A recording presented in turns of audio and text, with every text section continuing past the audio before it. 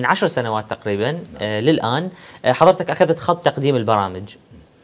آه، صديقي من باب صدفة.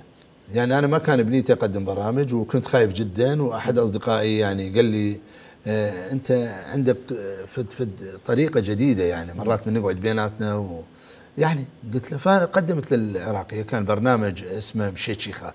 شنو يعني؟ يعني إحنا كنا نقدم فد طروحة معينة فد موضوع معين ونعالجه بمشهد كوميدي وهذا.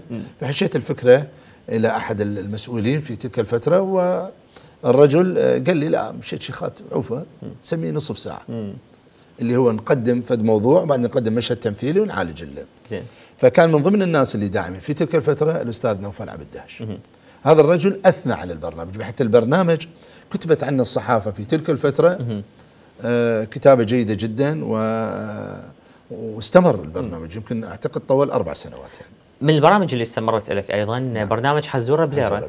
آه نجح كلش وصارت له شعبية وصدى عند الناس وافتريت به محافظات العراق. ليش بعدها تم استبدالك بهاشم سلمان وبعدها علي فرحان؟ هذه ما أجهلها أنا ما أعرف ما أعرف يعني, يعني مو أنت تركت البرنامج. لا لا لا.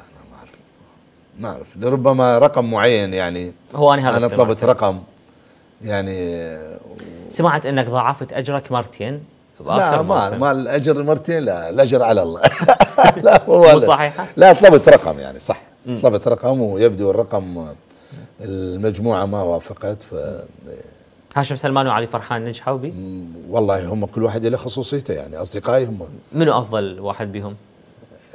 يعني قلت لك طريقة. أنا مثلا يضحكني هاشم في في موضوع معين. ويضحكني علي فرحان في موضوع معين.